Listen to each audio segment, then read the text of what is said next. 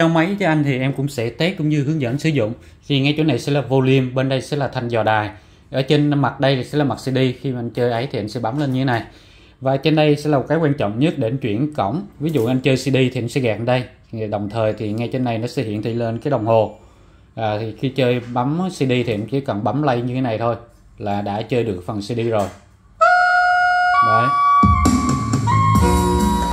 còn ví dụ như khi mà anh chơi băng cassette hay đây là line in nè radio nè rồi cái phần này là phần uh, cassette nè thì anh chỉ cần bấm play như thế này.